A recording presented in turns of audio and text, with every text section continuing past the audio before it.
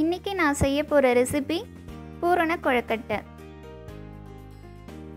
இந்த கொழக்கட்டை செய்கிறதுக்கு ஃபஸ்ட்டு பச்சரிசி ஊற வச்சுக்கலாங்க. நான் வந்து ரெண்டு கிளாஸ் பச்சரிசி ஒரு ஆஃப் அன் ஹவர் தண்ணியில் ஊற வச்சுருக்கேங்க. ஆஃப் அன் ஹவர் ஆயிடுச்சுங்க.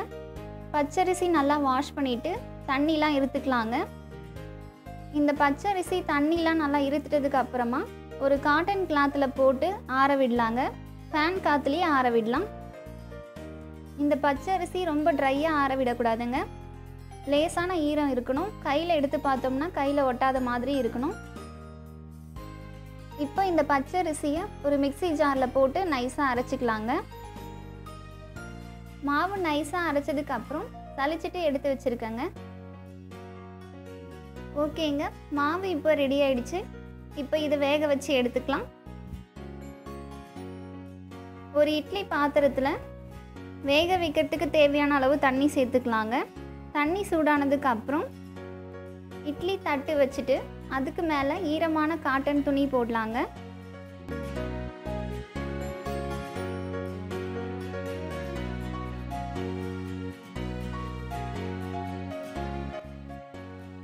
இப்போ இதில் நம்ம ரெடி பண்ணி வச்சுருந்த மாவை சேர்த்துக்கலாங்க.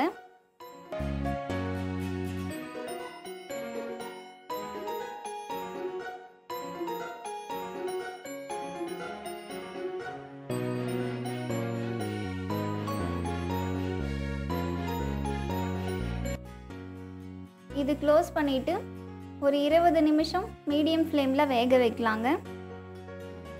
மாவு வேகட்டோங்க நம்ம அதுக்குள்ளே பூரணத்துக்கு தேவையானதை ரெடி பண்ணிடலாம். நான் வந்து இன்றைக்கி வேர்க்கடலையும் வெல்லமும் சேர்த்து தான் பூரணம் செய்ய போகிறேங்க அதனால ஃபஸ்ட்டு வேர்க்கடலையை வறுத்துக்கலாம். ஸ்டவ் ஆன் பண்ணிவிட்டு ஒரு கடாயில் வேர்க்கடலையை சேர்த்துக்கலாங்க. நான் இன்றைக்கி ஒரு நூற்றி ஐம்பது கிராம் வேர்க்கடலை சேர்த்துருக்கேங்க. லோ ஃப்ளேமில் வச்சு கலர் மாறுற வரைக்கும் நல்லா வறுத்துக்கலாங்க.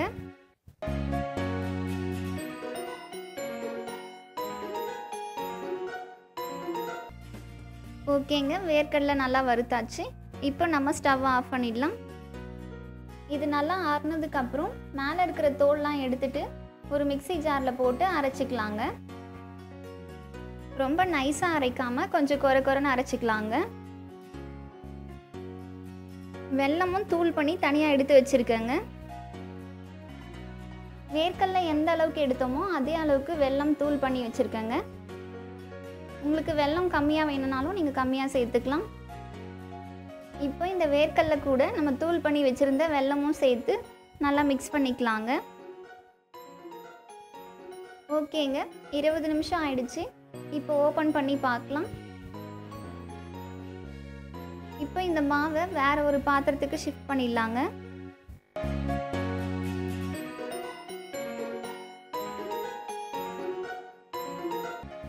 இப்போ இந்த மாவில் சூடான தண்ணி சேர்த்துக்கலாங்க.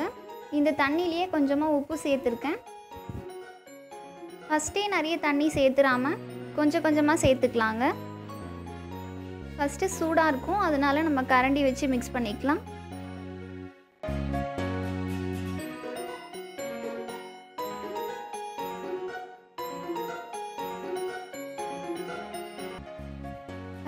இருக்கிற அளவுக்கு சூடு வந்ததுக்கு அப்புறம் நம்ம கையாலேயே மிக்ஸ் பண்ணிக்கலாம்.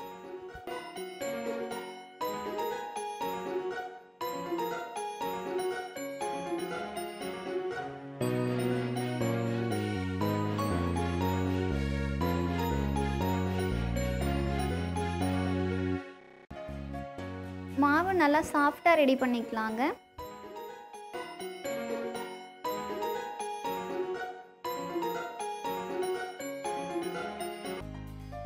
இதுலேருந்து ஒரு சின்ன உருண்டை எடுத்து உருட்டிக்கலாங்க. நம்ம ரெடி பண்ணுற வரைக்கும் மாவு காஞ்சிராமல் இருக்க ஒரு தட்டு போட்டு மூடி வைக்கலாங்க. இப்போ இந்த உருண்டையை நல்லா உருட்டிட்டு நல்லா ரவுண்டாக தட்டிக்கலாங்க. நல்லா அகலமாக ஆகிற வரைக்கும் லேசாக அழுத்திட்டே வரலாங்க. நல்லா ரவுண்டு ஷேப்பாக பண்ணிக்கலாம். அப்புறம் இந்த மாதிரி லேசாக அழுத்திட்டே வாங்க. நம்ம இந்த மாதிரி அழுத்திட்டே வரும்போது விரிசல்லாம் எதுவுமே இல்லாத மாதிரி பார்த்துக்கோங்க. இதே மாதிரி அழுத்திட்டே வாங்க. நல்லா அகலமான ரவுண்டாக வந்த பிறகு நல்லா மெலிசாக வந்ததுக்கப்புறம் நம்ம பூரணம் வைக்கலாம். இப்போ இதில் நம்ம ரெடி பண்ணி வச்சுருந்த பூரணத்தை சேர்த்துக்கலாங்க. ரொம்ப அதிகமாக சேர்த்துட்டிங்கன்னா வெளியே வந்துடும் அதனால் தேவையான அளவு மட்டும் சேர்த்துக்குங்க. லேசாக அழுத்தி இந்த மாதிரி க்ளோஸ் பண்ணலாங்க. எட்ஜஸ்லாம் நல்லா அழுத்திக்கலாம். இந்த எட்ஜஸ்லாம் கையில் நகத்துனாலேயே இந்த மாதிரி ப்ரெஸ் பண்ணிங்கன்னா நல்ல டிசைனாக வரும்.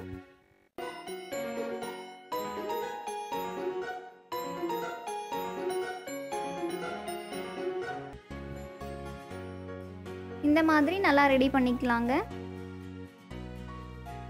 இதே மாதிரி நம்ம அடுத்தடுத்ததையும் ரெடி பண்ணி வச்சுக்கலாங்க. மாவு வந்து தட்டு போட்டு மூடியே வச்சுக்கலாங்க. நமக்கு தேவையான உருண்டை மட்டும் எடுத்துகிட்டு மறுபடியும் மூடி வச்சிடலாம்.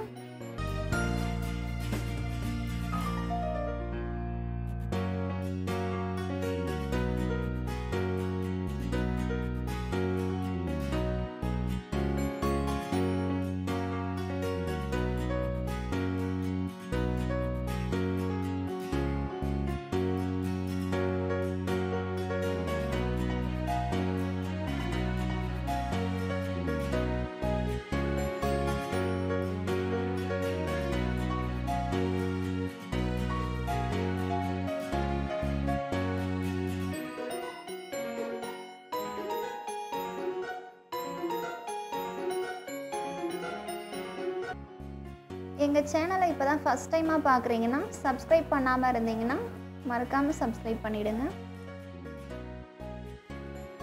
உருண்டை பிடிக்கிறதுக்கு தேவையான அளவு மாவு மட்டும் எடுத்துக்கலாங்க. மீதி மாவை மூடியே வச்சுக்கலாம். ஆற விடக்கூடாதுங்க.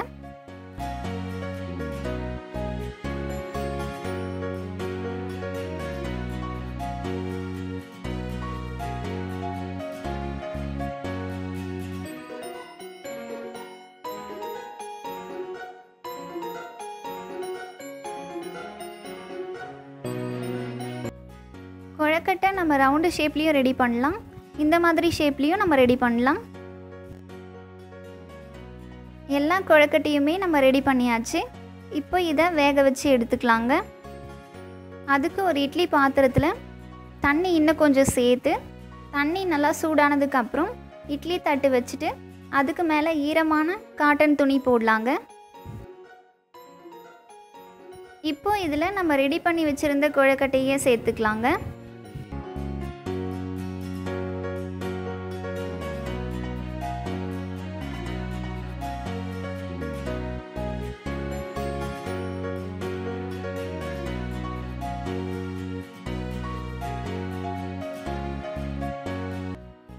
இதை க்ளோஸ் பண்ணி ஒரு பதினஞ்சு நிமிஷம் மீடியம் ஃப்ளேமில் வேக வைக்கலாங்க. ஓகேங்க பதினஞ்சு நிமிஷம் ஆயிடுச்சு. இப்போ ஓப்பன் பண்ணி பார்க்கலாம். கொழக்கட்டெல்லாம் நல்லா வெந்திருக்குங்க. அவ்வளோதாங்க பூரண கொழக்கட்டை ரெடி